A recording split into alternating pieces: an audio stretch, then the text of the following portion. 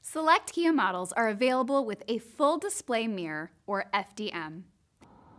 It has a 9.6 inch wide conventional optical mirror that, with the pull of a lever, becomes a digital display that provides a wide angle view of traffic behind you, with no second or third row passengers obstructing your view.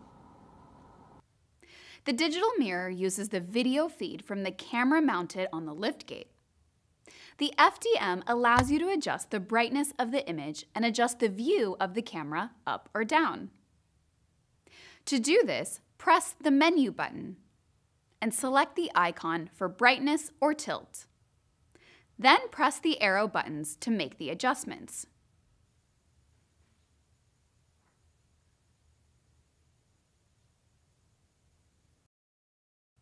On the left side, you have HomeLink programmable buttons, which are used for your garage door opener system.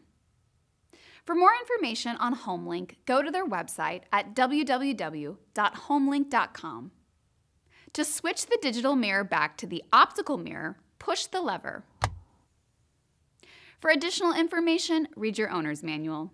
You can also refer to the Kia Features and Functions Videos YouTube channel or your Kia Features and Functions Quick Reference Guide. Thanks for watching.